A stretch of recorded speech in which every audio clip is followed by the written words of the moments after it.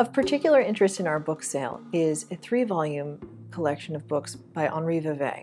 He was the third generation of one of the most esteemed jewelry houses of France, and this is a, a, compendium of what he felt to be notable works that had been created recently. It published in 1906.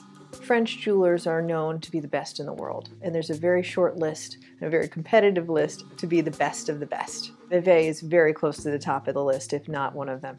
And 1906 represents the best moment of, of his productivity. The turn of the century and Art Nouveau jewelry was really at its height in a reaction to what people called the tyranny of the diamond.